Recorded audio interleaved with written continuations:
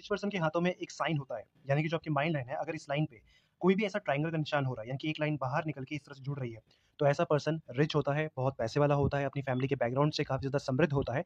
आप मुझे कमेंट करके बताओ कि क्या आपके हाथ में ऐसा निशान है या नहीं है, और अगर नहीं है तो चिंता मत करो। चैट सिस्टम शुरू होने वाला है और आपको बहुत सारे प्रॉब्लम्स के सोल्यूशन और बहुत सारे ऐसे तरीके मिलने वाले हैं, जिससे आपकी लाइफ काफ़ी ज़्यादा सेटल हो जाएगी। कभी आपको लगता है कि आपके बने हुए काम एकदम एंड मोमेंट पे आके ख़त्म हो जाते हैं?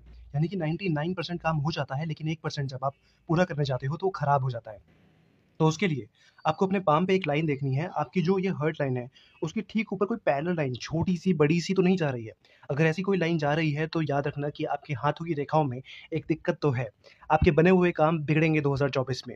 लेकिन घबराने की बात नहीं है, क्योंकि हर प्रॉब्लम का एक सोल्यूशन होता है, और सोल्यूशन के लिए हम बहुत ही जल्द लाने वाले हैं चैट सिस्टम। तो आप हमारे साथ स्टेट्यून रहिए, अपने हाथों पर ये रेखा दी देखिए। और अगर है तो कमेंट सेक्शन में आके यस ज़रूर लिखेगा ताकि हम आपके लिए वीडियो बना पाए और आपकी प्रॉब्लम का सॉल्यूशन दे पाए।